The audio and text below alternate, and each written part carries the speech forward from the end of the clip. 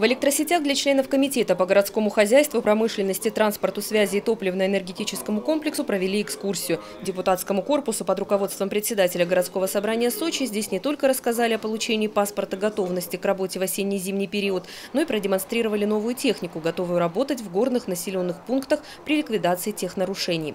На этих же грузовиках в обесточенные районы будут доставлять дизель-генераторы. Особое внимание в преддверии холодов, подчеркивают энергетики, уделяется подготовке резервных источников электроснабжения.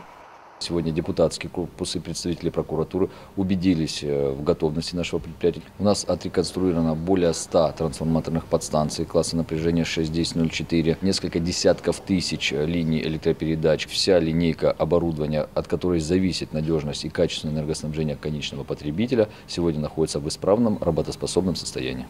Капитальный ремонт высоковольтного оборудования, расчистка и расширение трасс воздушных линий, замена опор, а еще расчистка практически пяти сотен гектаров просек вдоль трасс. Это необходимо, чтобы предупредить тех нарушений из-за падений деревьев и веток на провода.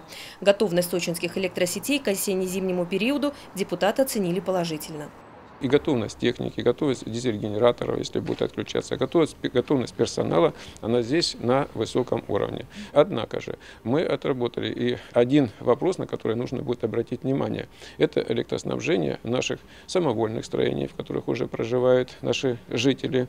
Это садовое товарищество, где сети не находятся на балансе электрических сетей. На это нужно будет еще совместно вот нашему комитету, совместно с департаментом городского хозяйства а, отработать эту проблему, для того, чтобы не было сбоев с электроснабжением именно этой категории населения. Оценку готовности к зиме члены комитета по ЖКХ городского собрания Сочи поставили и теплосетям. На очереди инспекция водоканала. Галина Моисеева, Гагабеша, Михаил Дубинин, телекомпания ФКТ.